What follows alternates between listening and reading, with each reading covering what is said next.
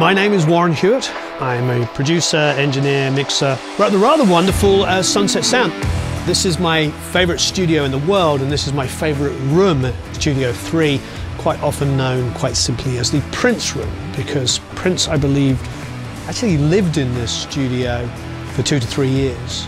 I think what's inherent about Sunset Sound is that the legacy of this studio is just second to none. There's very few studios, I mean, literally a handful of studios in this world that have such a unique sound. So you have the sound of these rooms, but not only do you have the sound of these rooms, the isolation rooms, all of which are unique and really quite special, you have the chambers and you have the plates available. And of course, the chamber in one is the Doors vocal sound. Um, I think probably most easily to identify is the sound of Van Halen. When you have like, when he does You Really Got Me on the first album, you hear the ah. and you just hear the chamber pan to the other side. And it's just like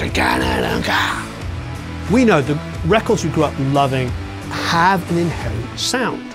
They have a sound of the studio they recorded in. You can use that to the nth degree if you want and just get the whole sound of, of a sunset sound, or you can just dial in little touches of it. I actually think beyond using the, um, the room tones, the large rooms, the chambers, and the plates, beyond that, I think one of the secret weapons of this is going to be is to use the isolation rooms just to give your instrument just a little bit of space around it so it doesn't just feel like the same dry piano sound or whatever it might be that everybody on the planet uses. I think just that inherently is going to start putting it in a place start to feel cohesive. And that's a big word, gluing things together so they start feeling like a whole, as opposed to lots of really, really super dry instruments hitting you in the face you're trying to figure out how to place them in the audio spectrum. What we love is the sound of a vintage Neumann microphone, for instance, in a room going through a mic pre that also imparts a sound.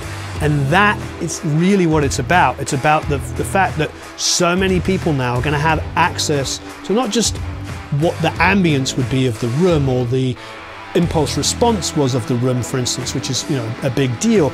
They have the way people record in that room. If you love the sound of a, of a record that was recorded here, you can now bring in the room ambience and the overall and, and, and, use the same chambers and the same plates that we use. It's a wonderful opportunity to really grow as a producer and an engineer and a mixer.